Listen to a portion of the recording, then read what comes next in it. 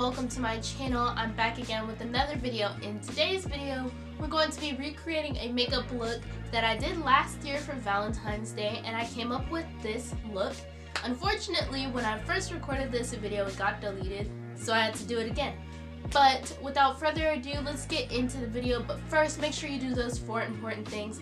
Make sure you like this video, hit the subscribe button, the notification bar, and share this with somebody you think would enjoy this video.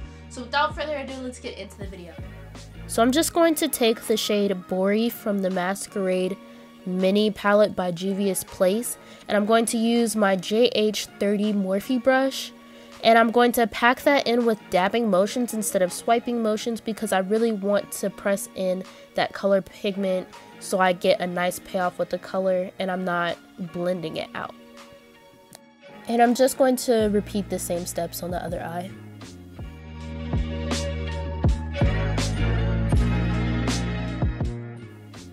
With that same brush, I'm just going to feather out the ends that I packed the shadow in, and then I'm going to take the JH33 brush and the color Zobo from the Juvia's Place palette, and then just kind of feather that out and blend it into the crease so it gives it more depth into the eyes. Then I'm going to go into the Take Me Back to Brazil palette, and I'm going to mix these two yellow shades right here together and put it onto the almost the brow bone right above the crease with the JH39 brush.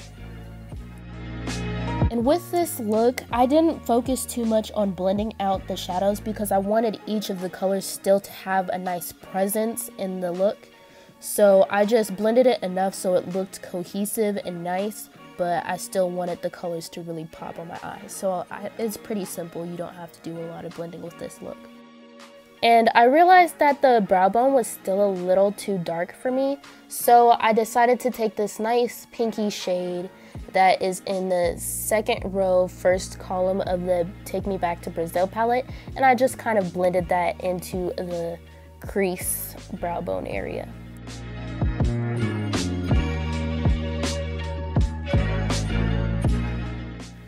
The shadow is all done, so I'm just going to take my Revlon Color Stay Liquid Liner and do my wing eyeliner. The only reason I did a wing eyeliner with this look, although I'm doing a glitter liner, is because I find the glitter sticks better when you have a nice base to stick to and it gives you a nice template to put it on with than if I just went in with the glitter primer. And speaking of glitter primer, I use the NYX glitter primer and my Morphe brush M432, which is the same thing I used to do my brows, but I usually just clean it off. And then the glitter that I use is from Beauty Treats Incorporated in the color gold, and it's the Glamour Glitter. And what I use to pack the glitter on with is just a random brush tool that I got from a liquid glitter liner, but the glitter liner ran out and I just kept the brush because it's small and fine, so it really gets the glitter on into detailed areas. And then when you're working with glitter liner, you just want to make sure that you're putting the glitter primer on in small sections and then packing the glitter on so then it doesn't dry out and you have a nice even layer of glitter on your eye. I also do want to apologize that the video isn't all in focus. I tried to set up my camera different and clearly it didn't work the way I intended, so please bear with me.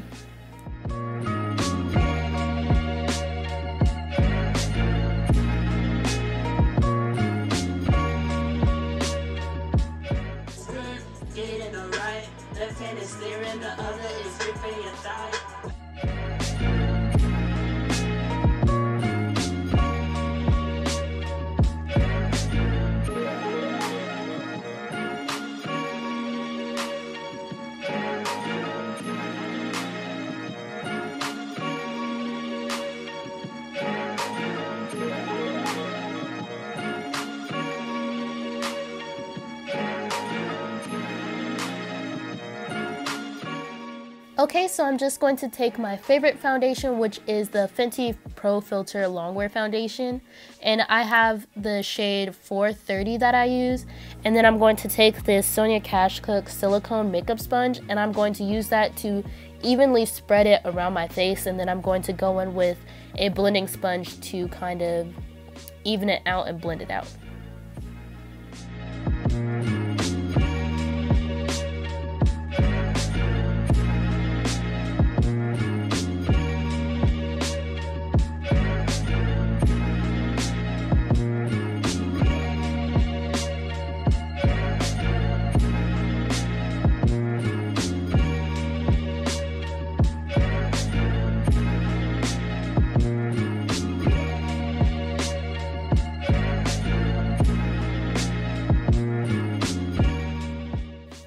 Okay, so I cleaned off my M432 brush and I'm going to use it to clean up my wing eyeliner, making sure not to get too close to the glitter because I don't want it to move around, get on my foundation. And then I'm going to blend it out and I did use my foundation to do that.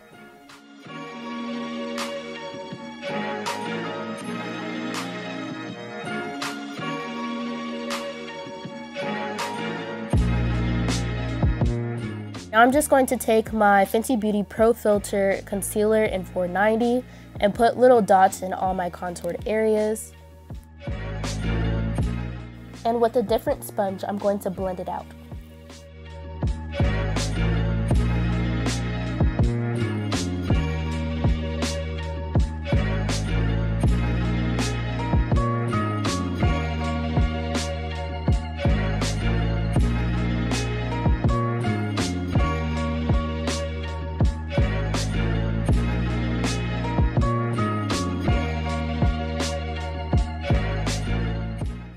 Now I'm just going to take the same concealer in 370 and I'm going to put that in my highlighting areas. And as you can tell, I have a different shade since my Fenty review, and this is a color that works for my undertones, and I love it a lot. And if you haven't seen the video already, be sure to check it out, but I did put a little too much concealer because it is highly pigmented. So I had to go back in with two different sponges. So I used this sponge to blend it out and then I used my sponge from my foundation to blend it all together.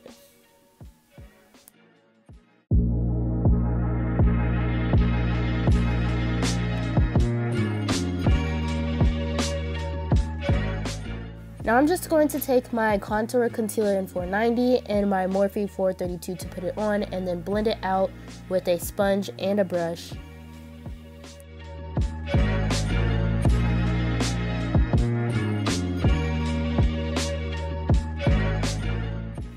Okay, so now it's time to set my face and I'm using the Fenty Beauty Pro Filter Powder in the color Honey, and I'm going to use that to bake or set my highlighted area.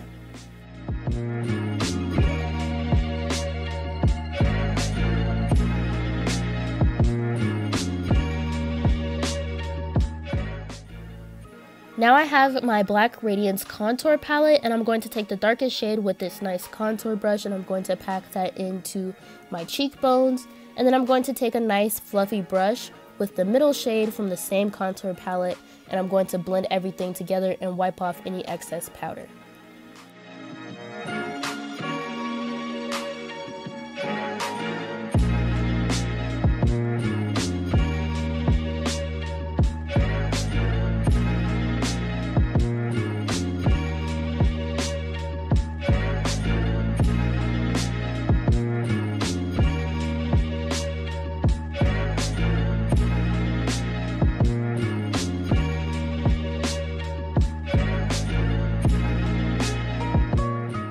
In this step, I'm just adding little hearts to my face. I'm sorry it's hard to see. I didn't focus it well in this part, but I'm just using the NYX Professional Makeup White Liquid Liner to do this, but in this, if you were to try it, it's kind of like a trial and error freehand type of thing. So even if you watch me, it's kind of like you just got to do it to be able to do it.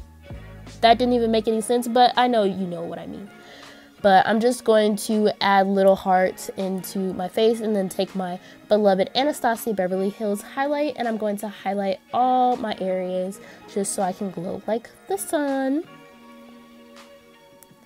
And I kind of did my lashes off camera, but I just took my Milani lip liner in Sugar Plum and then this Bare Minerals Gen Nude sample size lip gloss. And I think I might get the actual sized one because I really like it.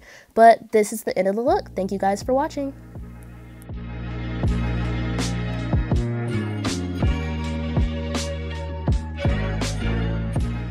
Okay guys, so we've made it to the end of the video. Thank you guys so much for watching. And if you like this video, give it a big thumbs up. And don't forget those four important things. Like this video, hit the subscribe button, hit the notification bar, and share this with somebody you think would enjoy this video. But thanks so much again for watching, and I'll see you guys in the next video. Bye!